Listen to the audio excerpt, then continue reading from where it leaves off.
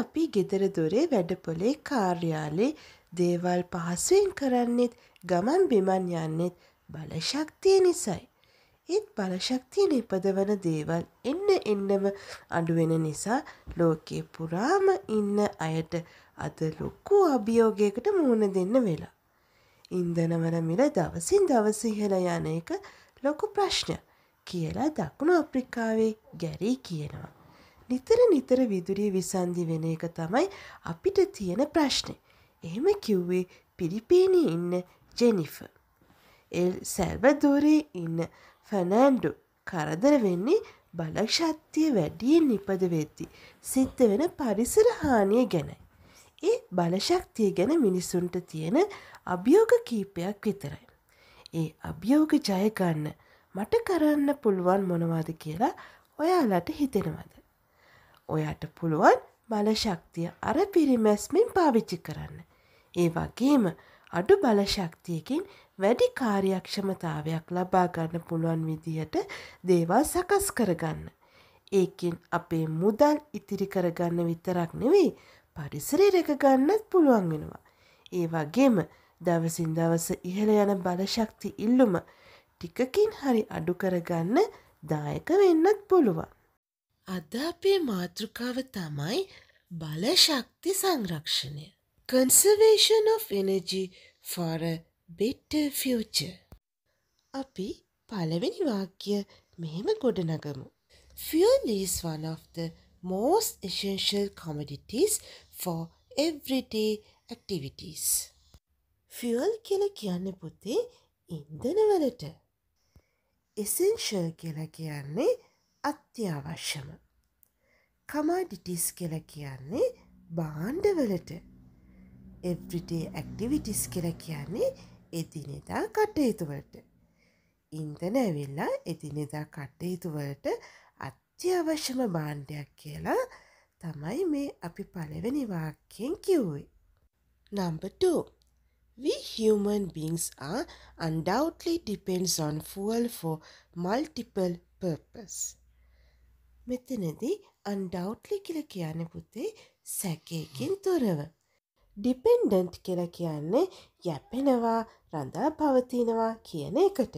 ඒ වගේම multiple purpose කියල කියන්නේ බහු අරමුණු. අපි මිනිසුන් වශයෙන් අපේ බහු අරමුණ ඉටු කරගන්න මේ ඉන්දන මත යැපෙනවා. Number 3. Coal, wood, oil, petrol or gas produce energy when heated. So we consider them as fuel. Coal කියලා කියන්න පුතේ ගල් අඟුරු වලට. වුඩ් කියන්නේ දරවලට. ඔයිල් කියල කියන්නේ තෙල්වලට. Petrol or gas produces energy when heated මෙනම ඉහතකී ද්‍රව්‍යයන් දහනය වීමේදී අපිට ශක්තියක් නිපදවනවා. ඒ නිසා ඉහතකී ද්‍රව්‍යයන් අපි ඉන්දන ලෙස හඳුන්වනවා. Number 4. Fuel is not a man-made resource.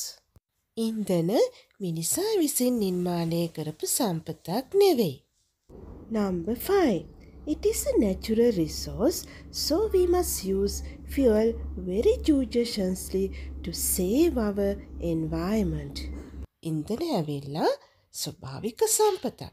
ඒ නිසා අපේ ඉන්දන භාවිතා කරනකොට ඉතා විචක්ෂණශීලීව භාවිතා කරන්න ඕනේ අපේ පරිසරය සුරකින්නන. ජූජෂන්ස්ලි කියලා කියන්න පුතේ විචක්ෂණශීලීව භාවිතා කරන්න ඕනෙ කියන එකට. ඔන්න අපි තවත් අලුත් වච්චනයක් ඉගෙන ගත්තා. Number 6. Almost everything we use depends on fuel. අපි එදිනෙදා ජීවිතයේදී භාවිතා කරන සෑම දෙයක්ම පාහේ මෙම ඉන්දන මත රඳා පවති.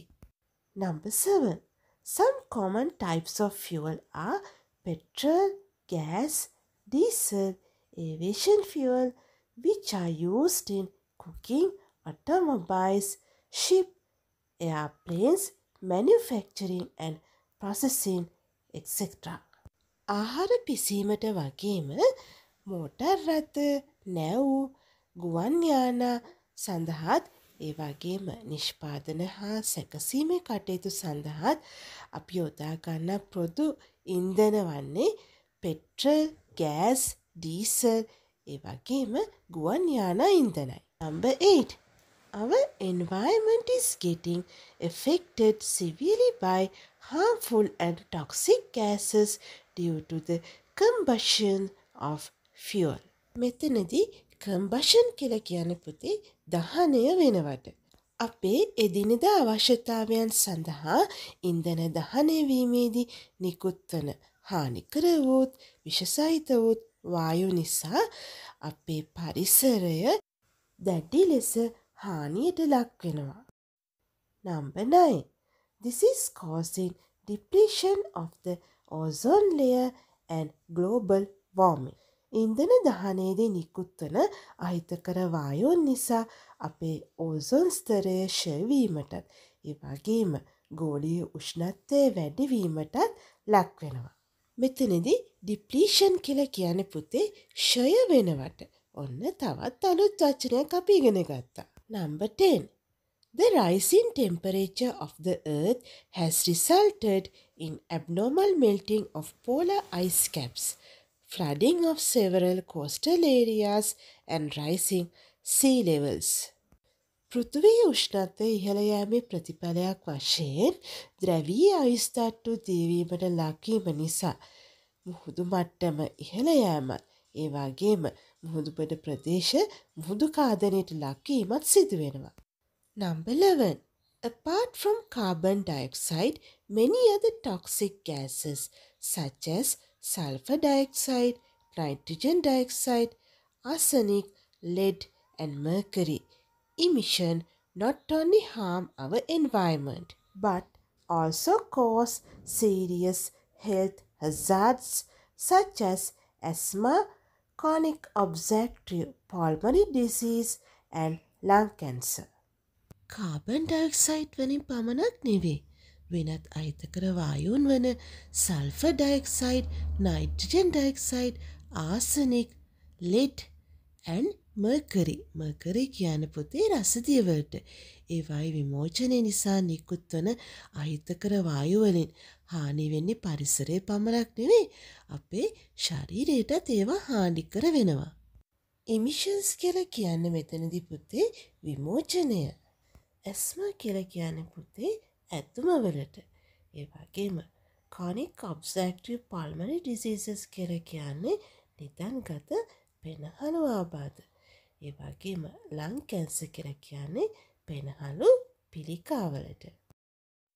නම්බටුවෙන් Conserving energy should be a part of the daily routine of an individual. Conserving energy කියල කියන පුතේ බල ශක්ති සංරක්ෂණය.